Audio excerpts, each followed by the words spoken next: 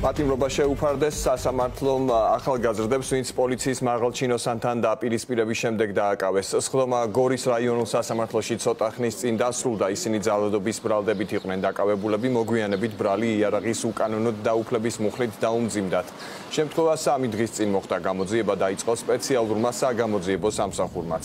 ლადო ბიჭაშვილი ესწრებოდა დღევანდელ პროცესს გორის სასამართლოში.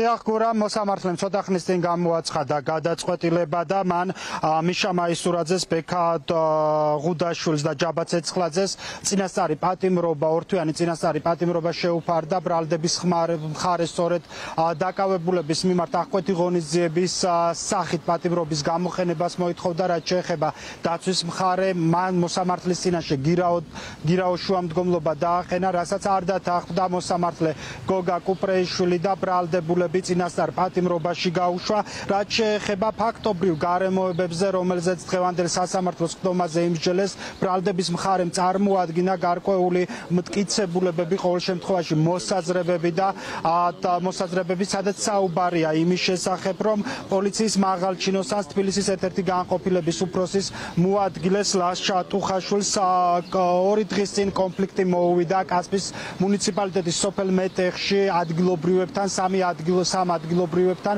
კონფლიქტი იმდენად დიდი მასშტაბები მიიღო, რომ ხელჩართულ ჩხუბში გადაიზარდა და პოლიციის თანამშრომელს იარაღის ამოღებაც მოუხდა და რამდენჯერმე გამაფრთხილებლად გასროლა, რასაც დაცვის მხარე ამბობს, რომ დამიზნებით იყოს როლა ეს სწორედ მოწინააღმდეგე მხარის მიმართ, რასაც ბრალდების მხარე არადასტურებს და აუცილებელი მოგერიების მიზნით ხსნის თუხაშვილის მხრიდან გასროლას არადრო როსაც ტუხაშვილს ართმევენ პროკურორის მიერ წარმოქმნილი მასალების მიხედვით ართმევენ იარაღს სწორედ მოწინააღმდეგე მხარის წარმომადგენლები და იარაღით იარაღს რამდენიმე დღის განმავლობაში ეძებენ სამართალამცველები.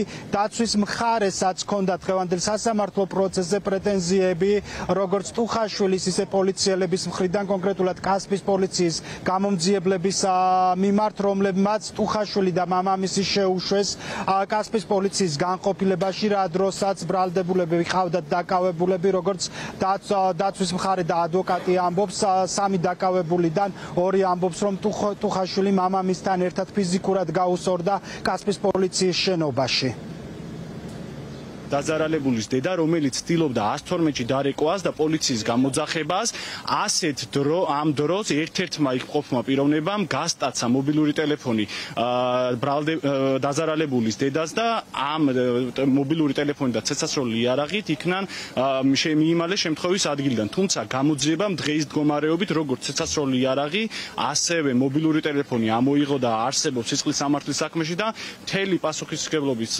შეგნებით ვაცხადებ, რომ მოცემულ სისხლის სამართლის საქმეზე ბრალდების მხარის მიერ გაგრძელდება გამოძიება ჩვენი მხრიდანაც მაქსიმალური ვადა იქნა მოპოვებული იმის მოთხოვნილი სასამართლოს მხრიდან მაქსიმალურად ობიექტური ჭეშმარიტება იქნეს დადგენილი დიახ, დღევანდელ სასამართლო პროცესს დაკავებულების ახლობლები და თანასოფლელებიც ესწრებოდნენ, რომლებიც ამბობენ, რომ პროვოცირება სიტუაციის სწორედ პოლიციის მაღალჩინოსანმა ლაშა ტუხაშვილმა გამოიწვია. არანაირი აუცილებლობა არ იყო იარაღის ამოღების იმ სიტუაციაში. მიუხედავად იმისა, რომ სიტყვიერი კამათი იყო და ხშირ შემთხვევაში იყო ეპიზოდები, მათ შორის ფიზიკური დაპირისპირების სიტუაცია გაამწვავა მისი მხრიდან. იარაღის ამოღება რაც შეეხება სასამართლოს გადაწყვეტილებას ადგილობრივები ამბობენ რომ ამ შემთხვევაში როგორც პროკურორი ისე სასამართლო პოლიციის მაღალჩინოსანის მხარეს არის და მათი განცხადებები ჩვენ შეგვიძლია ახლა პირდაპირ ეთერში მოვისმინოთ იმათი მხრიდან მოხდა ყველაფერი. რა მოხდა იმათ? რა მოხდა? მანქანასაც ისინი დაეჯახნენ და იმ პოლიციელმაც აგინა ამასა და მაქაინდა ხო გადმოვიდოთ ახლა რაღაცას ხო იმოქმედე იმოქმედებდა რა. იარაღიდანაც გაისვა. მე უკვე მოხდა ეგეთი რაღაცები იმათ რა იცი ას ფორმა არ ეცვა ას პოლიციის ფორმა არ ეცვა და არც არაფერი ინსტიტუტურა თავდაცვის მიზნით დაიჭირეს ის კაცი ну წახტვეს ეს ზროლი იარაღი რა ვიცი.